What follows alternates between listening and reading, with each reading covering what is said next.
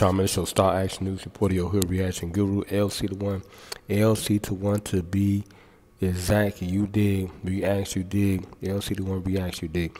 Uh, back with another recap from last night's basketball game, the Grizzlies versus the Denver Nuggets, man. Uh, the Grizzlies walking into, uh, the Nuggets walking into uh, Memphis, uh, putting on a show. I think it was Memphis, right? That they went to. They was visiting, right?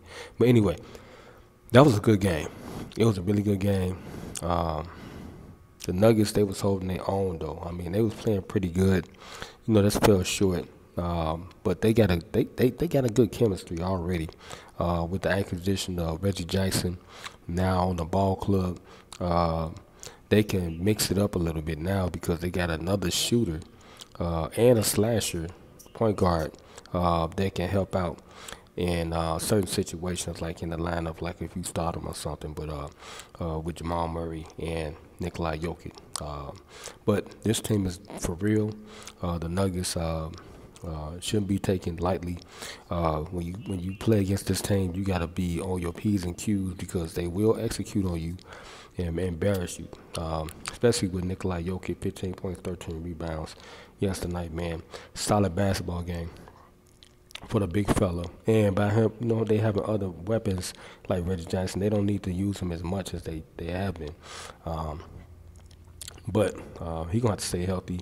Jamal Murray gonna have to stay healthy. Reggie Jackson, you know, in order for them to get to the mountaintop. They got a good team, man. Aaron Gordon, Jeff Green, they got a lot of weapons on this team, man. And uh, that can definitely push them over the mountaintop.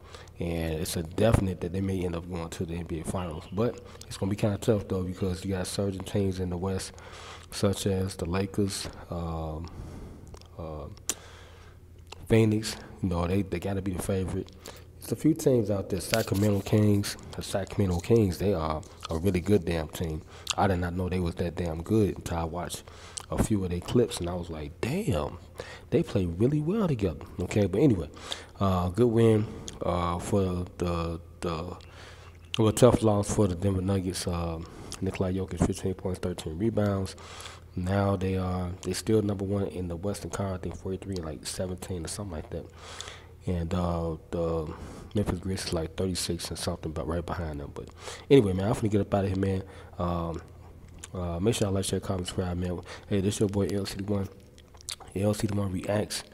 Uh, to be exact, you dig, uh, aka Illmatic 124, and not the motherfucking gang notes. Make sure I like, share, comment, subscribe. So I get more hood news reports from your hood reaction guru. And like I always say, Church on Rev guy, we going to 5, 4, 3, 2, 1. I'm holler y'all on the next one. You can't y'all dig that, man. The boy, I'm holler y'all later, okay?